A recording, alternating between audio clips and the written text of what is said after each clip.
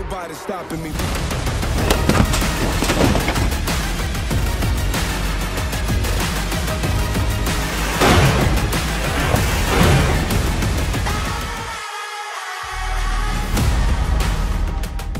呢個戴金明村係好神奇地，佢哋揾到個好大嘅地方，搭咗好多景啊，好多茅屋啊，好多有個製毒工廠啊。其實好大部分嘅爆炸場 ending 都係喺呢條村度發生。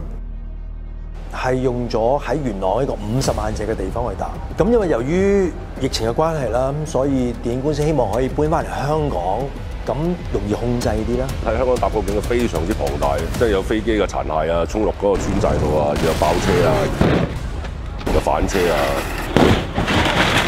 我其實覺得嗰個感覺係好過喺泰國拍。咁我哋香港冇呢啲樹啊嘛，喂種樹喎，嗰棵唔係樹苗嚟嘅喎，附近見到嗰啲類似嗰啲芭蕉樹嗰啲係種落去嘅。咁啊，林小明先生佢俾我睇過呢個景嘅 plan，咁我知得哇，好長喎，好震撼啊！原來我條村真係大到咁咯。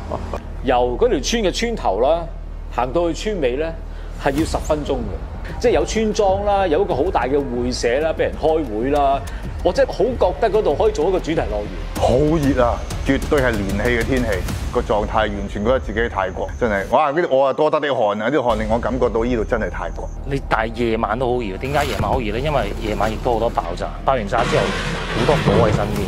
誒令到我好深刻就係啲爆破喺你隔離火舞嘅時候咧，會完全感受嗰個氣氛嗰個壓力。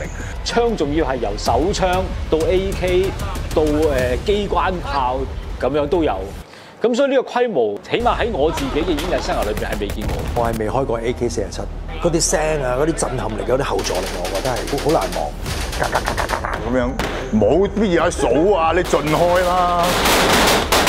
幾百人咧，我開槍一撳落去，咁啊幾千發㗎啦，咁啊幾萬發㗎啦，咁啊冇晒㗎啦。規條上嘅問題啊，我哋先可以做到一啲咁大嘅環境，所以大家都係喺艱苦之中完成啊。我睇劇本嗰時冇幻想到嗰個導演希望嗰個場景嘅設計係咁誇張。